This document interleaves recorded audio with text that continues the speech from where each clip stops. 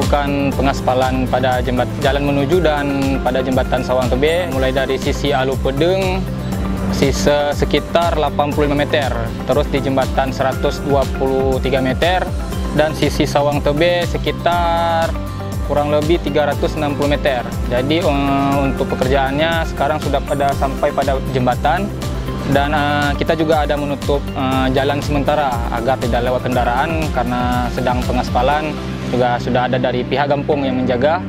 Um, insya Allah um, malam ini akan ini sampai malam hari ini. sampai malam hari inilah akan tuntas.